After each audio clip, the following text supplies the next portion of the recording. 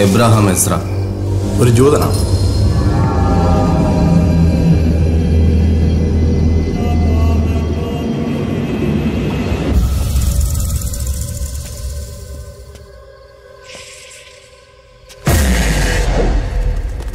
ഒരു മിത്തെന്നൊക്കെ പറയാം. It's an evil spirit